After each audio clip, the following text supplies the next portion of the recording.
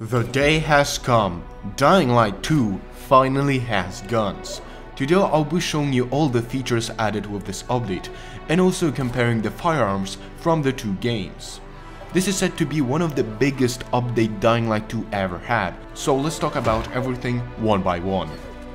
The first thing you should do as soon as you load in the game is to get the free bundle. Not only it will give you some cool looking skins, but also the good old dark sickle from Dying Light. Although here it doesn't really look as stylish, but it's definitely a good weapon to have. Another free item you can get during the first week of this update is the Harran pistol alongside some ammo for it. Once you load into your game and wait a little bit, a character will call you and start a questline that will unlock guns. Now unfortunately because my game glitched out, I couldn't complete this quest and thus I couldn't get access to guns.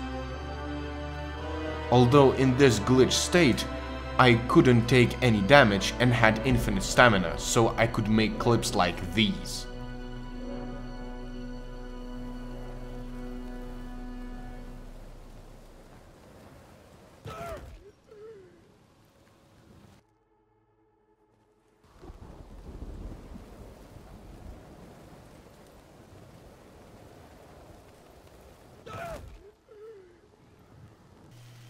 And you know, despite not being able to get any guns, it was actually rather interesting exploring this glitched version of Villedor.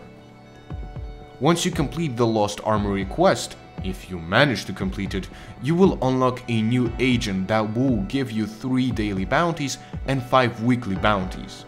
Now unfortunately I have no idea what these bounties are, but upon completion they will give you reputation points that will increase your level with this agent. Each time your reputation level with the vendor increases, the more items and guns you can buy from him. Although this obviously wasn't everything that was added with this update, because now we have much more side activities to do in Villedor and the Central Loop. First of all, we have the Survivor missions. Now, the Lost Armory quest actually walks you through these missions, but basically all you have to know is that the new missions appear every week, and after completing it for the first time, you get reputation points and a special currency that can be used to buy guns. There's also an elite version of the same mission that unlocks after you complete it, and it's pretty much the same except you have more powerful enemies.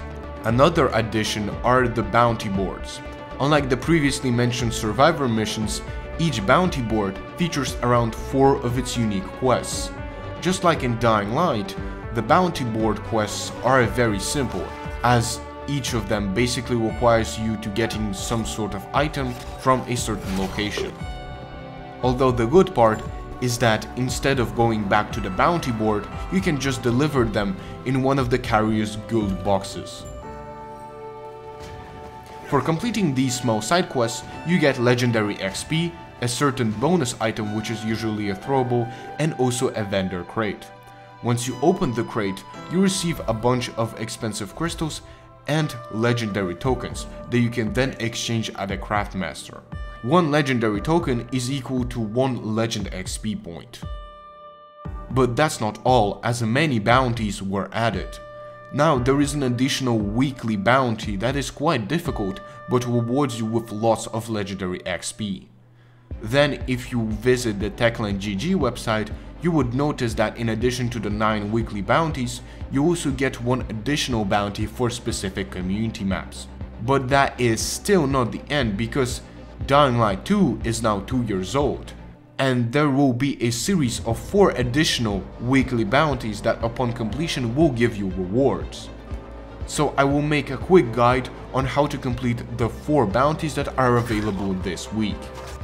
The first bounty will be to perform 10 finishers, in order to do that, I recommend using your fists in order to break the enemy stance and then perform the glory kill. The next bounty will be to chop off 50 enemy limbs. This is actually very easy to do if you attack the enemy's legs. The third bounty will be to survive 60 seconds under a night chase, which is also very simple. But the fourth bounty will require you completing the Run Boy Run community map. You don't need to get the gold medal in order to complete this bounty, but I will still show you how I got it in case you're having trouble completing this challenge.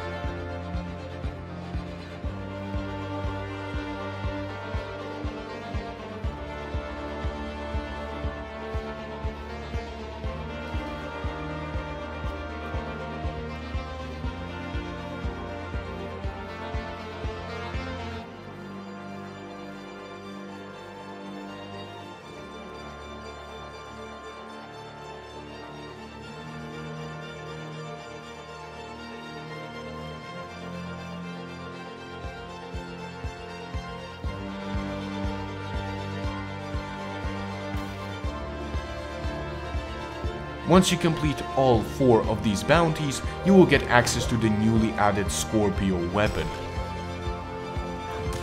The Scorpio is one of the many weapons added with this update. Although, unlike all other guns, this weapon was supposed to be in Dying Light 2 since the beginning, but it got removed, and now it's back. At first, it looks like a regular two-handed hammer, but if you press the reload button, it will transform into a harpoon gun.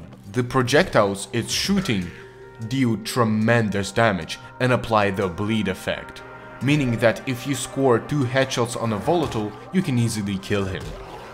Although, you can only free aim this weapon, meaning that you will have to be very careful with your shots, especially because crafting harpoons is rather expensive. But overall, it's an amazing weapon that deals good damage in melee and ranged combat. Now let's talk about the actual guns. As I previously said, I cannot get access to them, but from what I've seen while using the Harran pistol, is that the animations are much more smooth and satisfying, and the overall quality of the guns is better. And the final weapon change is that 11 more nocturnal weapon variations were added. Okay, we have weapons, but what about the enemies we're going to use them on? Well, if you didn't already notice, the majority of biters and virals were changed.